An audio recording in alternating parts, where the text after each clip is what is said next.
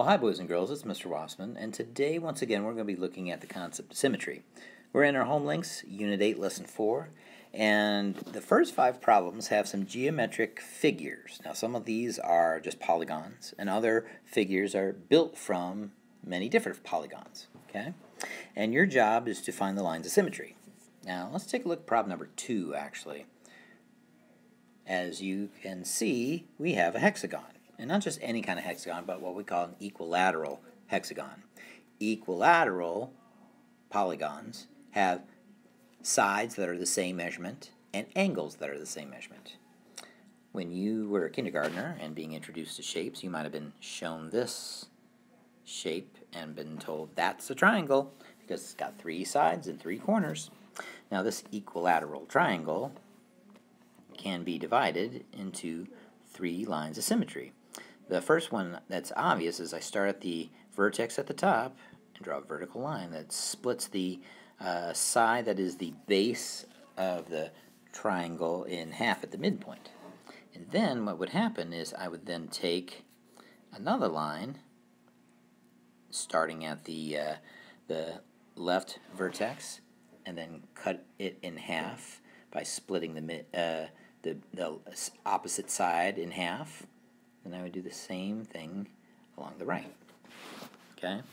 Now, later on in your school career, we learned that there are many different kinds of rectangles, like this one right here. This is considered to be a right angle triangle, so right triangle. It's also scalene because a scalene triangle has three different sides, each of different lengths. That means that each of the angles are different measurements too, which means I cannot split this thing in half and get two mirror images. Like if I tried to do it from the top, I'd just be tracing along this one side. That's not, that's not uh, symmetrical. If I try to cut it from the left, you'll see that this side on the bottom takes up a lot more space than this side right here. Okay, that's not a mirror image. Okay, so when we have equilateral shapes, okay, those equilateral shapes will have as many lines of symmetry as they do sides. Okay, so this hexagon has six lines of symmetry, and there's two types. There are lines of symmetry that split it in half, cutting through the sides, like so. I'm going to draw a line of symmetry vertical from top to bottom. Okay, and if I can do it from th these two sides, I can cut it from these two sides here and these two sides here. And all those lines of symmetry, they meet in the center in this little midpoint right here. Okay, but then I can also split my shape in half using lines of symmetry going from angle to angle like this.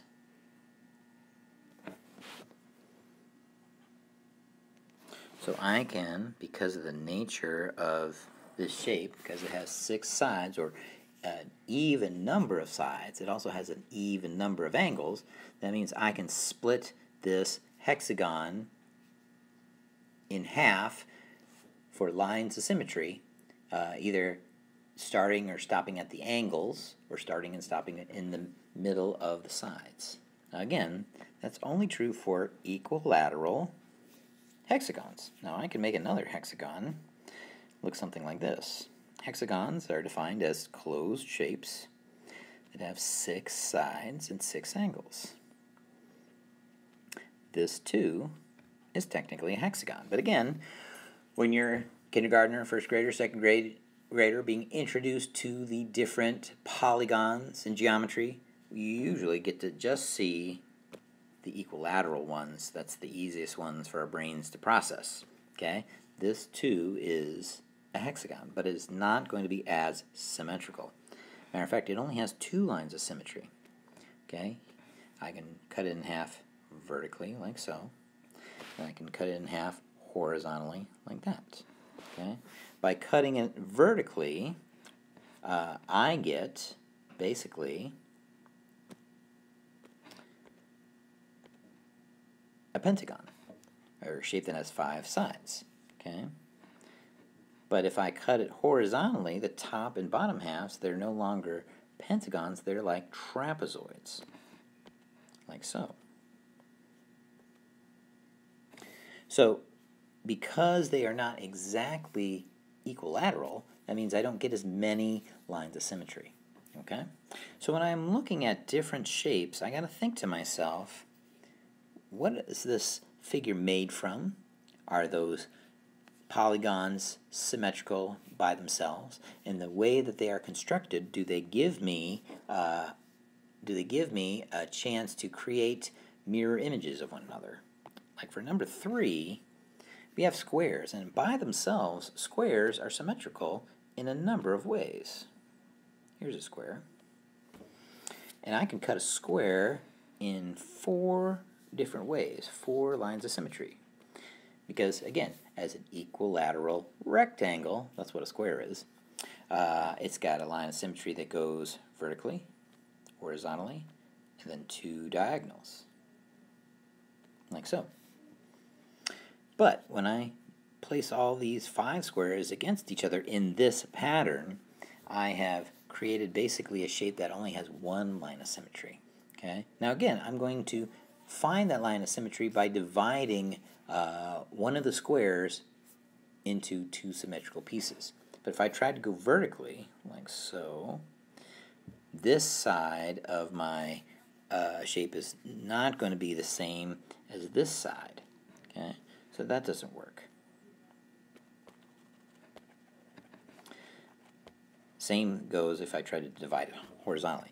So the, really the only way I can divide this shape into a, uh, two symmetrical sides is if I cut it diagonally right here. Okay, and so basically what that gives me are two squares and then half of a square that has been made into a triangle. So uh, on this 45 degree uh, diagonal, like so, I now have a pattern of two and a half squares here, and I've got two and a half squares right here. Okay, you can kind of see those two shapes.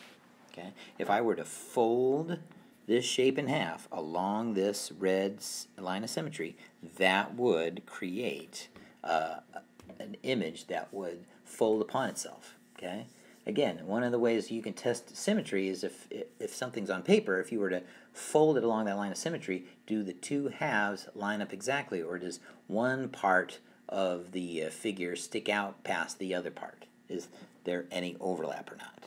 Okay, and that's all we're doing here in this uh, activity. We're looking for lines of symmetry, particularly trying to think about it in terms of equilateral shapes and the way that certain geometric figures are constructed from equilateral shapes. Okay? Now lastly, down at the bottom we have some practice with some multiplication of fractions and whole numbers. Let's take a look at number 9, shall we? 4 times 7 tenths. Now again, when we multiply fractions and whole numbers, I'm only going to be looking at the numerator of the fraction. Okay, So instead of saying 7 tenths, let's say seven bananas. I'm multiplying four groups, and each group has seven bananas in them, okay? 4 times 7 is 28. That would give me 28 bananas, right? But instead of bananas, okay, I'm uh, multiplying four groups of 7 tenths, okay? So instead of 28 bananas, I have 28 tenths, okay? Now, an improper fraction isn't a bad answer, but it's not the easiest answer to think about, okay? When I think about tenths, I always think about dimes. Well, basically anytime I think about math, I think about money, or how does it apply to money, because math is money. But in particular, when we're dealing with fractions that are out of 10 or 100 parts, it easily lends itself to money. So if I had four groups of seven dimes, and I ended up with 28 dimes, how much money is that? Well, I can figure that out by just taking my total number of dimes, 28, and divide it into groups of 10, because 10 dimes is the same as $1, right? Well, 10 times 1 is 10, 10 times 2 is 20, 10 times 3 is 30, so I know I don't have $3 worth. The best I can do is $2, right? because 2 times 10 is 20. So I can get two groups of 10, which means $2, which leaves me with 8 tenths left over, or 8 parts. 2 and 8 tenths. So 28 tenths can be uh, reconfigured into two wholes with 8 tenths left over. Now again, if I was talking money, $2.08 dimes would be $2.80. Later on in this unit, we're going to be learning, again, how to convert fractions and decimals. And again, every time we talk about money, if we're given a fraction of a dollar, we always want to convert that to its decimal equivalent because that's how we represent money in this country. $2.80 is the same as saying 2 and 8 tenths of a dollar. Okay? That's all for me, friends. Uh, if you're still left scratching your chin thinking, I, I, I don't get the symmetry stuff, or I'm still a little confused when I multiply fractions, I, I just want to multiply those denominators. I don't know why. If you're confused, if you're stuck, well, what you need to do is you need to talk to your math teacher. Okay, they will set you on the right track. They will help you where I cannot, as a uh, recording, as most likely being viewed on YouTube or embedded in a Canvas video somewhere. Uh, I am a one-directional teacher right now. I just give the information out. I cannot take any feedback back in. So you need to find yourself a real, live, living, breathing person to talk to if you've got questions. Okay. I hope this video was helpful in some respect, and until we talk again, friends, have a good day. Thanks.